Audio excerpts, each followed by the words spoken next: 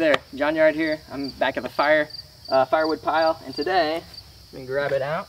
We're talking about this type of firewood. This is pine, okay? And uh, specifically, we're going to be talking about how good is pine as a firewood.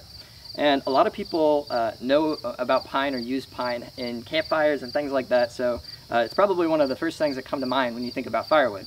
Uh, but is it actually good firewood? That's what we're going to be getting into.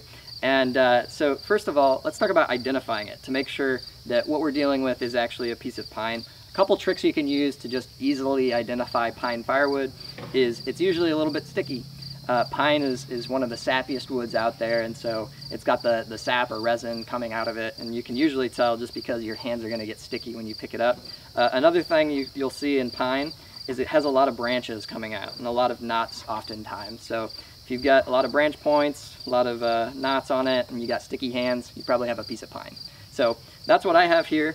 And let's talk about the heat output of pine first of all. Is it good if you're, you have a wood stove and you're trying to heat your home or something like that? Uh, it's not very good. does not have very good uh, uh, heat output.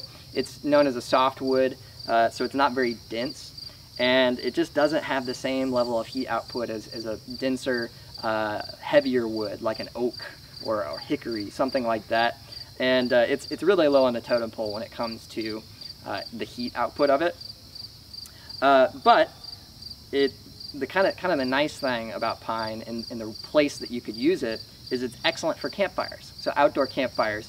And the reason for that is it doesn't burn too long, so something uh, that has really great coaling, so hickory, uh, oak, something like that, they'll burn a long time and you might have to wait up or put it out with water or something like that if you just have a campfire. But uh, at a campfire, it's kind of nice to have something that burns out kind of quick. So that's a good thing about pine.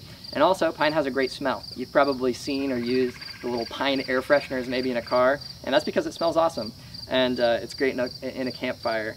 Um, another reason though, uh, when we're talking about a wood stove, why you might not want to use pine is that uh, because it's so sappy, it can contribute to the buildup in your chimney.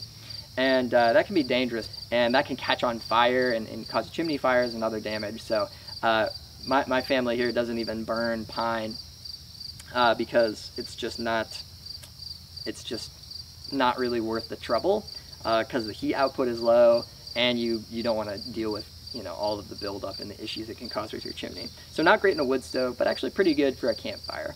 Uh, that's kind of the summary on, on uh, pine. So heat output not great, but makes a, makes a pretty fire. That's all right.